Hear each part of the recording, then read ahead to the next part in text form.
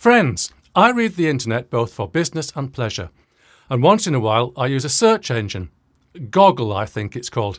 So, in an afternoon break, sipping my Earl Grey and crunching my cucumber sandwiches, I idly searched for how to set preamp gain. Not because I want to know how to do it, I've been doing it for the last 40 odd years, but because I was interested in how other people say it should be done. I'm in the business of explaining audio, so I need to make sure that my explanations are the best around. If someone has a better explanation than me, I need to put the work in to leapfrog them.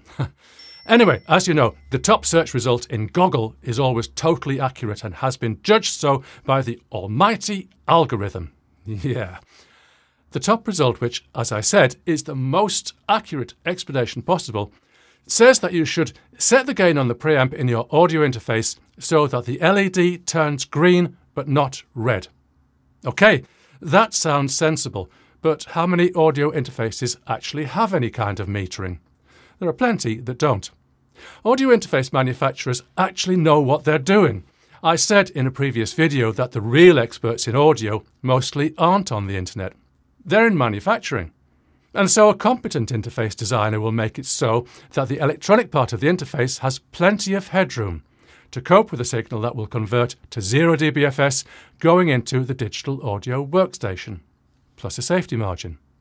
There isn't any need for metering on the interface, although there's no actual harm if there is. The article is illustrated with a Mackie Onyx audio interface, which does indeed have an LED meter which shows green when there's signal present and red when, quote from the manual, this dual coloured LED will illuminate red when the channel's input signal is too high, indicating a signal overload, brackets OL.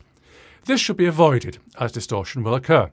If the OL LED comes on regularly, check that the gain knobs are set correctly. I could argue with the correctness of that, but that would be for another video. But now comes the shocker.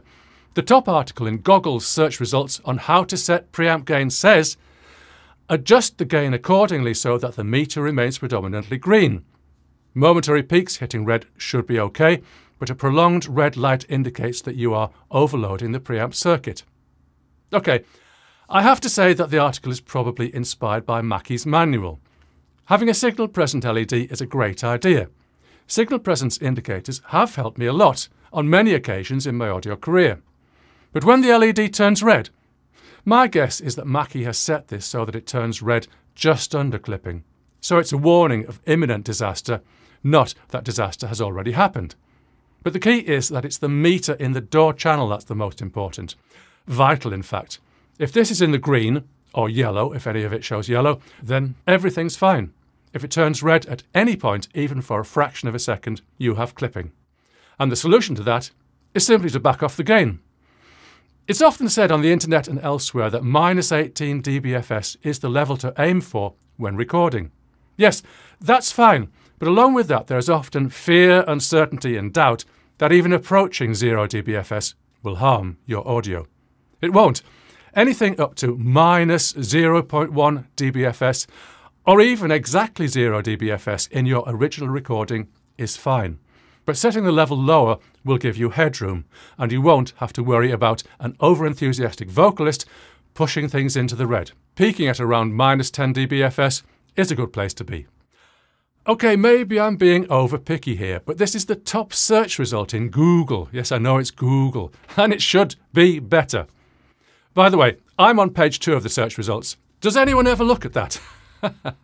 See you soon.